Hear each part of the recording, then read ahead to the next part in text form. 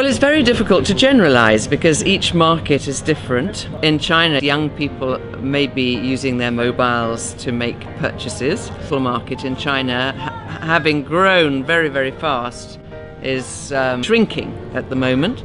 So it would be unwise to depend too much on the Chinese market. The UK, which is the market I know best, the proportion of wine sold online from a conventional sales website is definitely increasing. And I get the impression that the power of the supermarkets, which has been too great, is declining because the quality of the wine in the supermarkets has definitely been going down. And while the knowledge of the consumer has been going up, so the supermarkets are less and less satisfactory.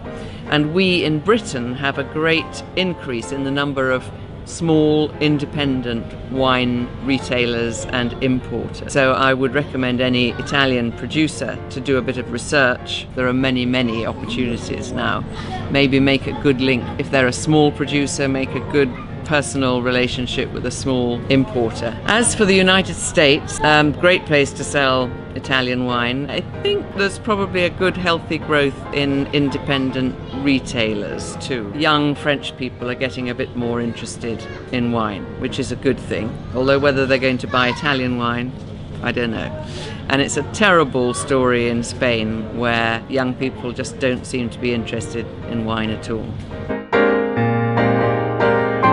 The structure of wine commentary is changing completely. When I started, maybe in the 80s and 90s, you had a handful of big authorities who would hand down their scores and opinions, and they were received like an oracle by the public. We now have social media interaction, lots of consumer reviews, something like Cellar Tracker, which is perhaps the TripAdvisor of, of wine. Even people like me, who is um, communicating my thoughts daily on jancisrobinson.com, much more opportunity for readers to come back, say, hey, I don't agree, or I discovered this this great wine. It's much more two-way communication now, which is a good discipline for people like me. It keeps us uh, on our toes.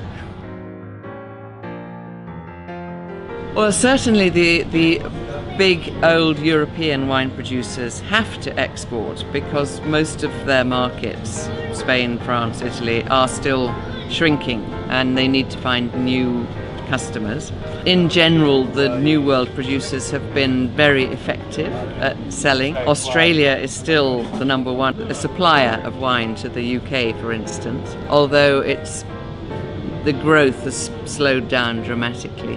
However, I sense a slight renewal of interest in Europe because the tradition is more valued today than innovation.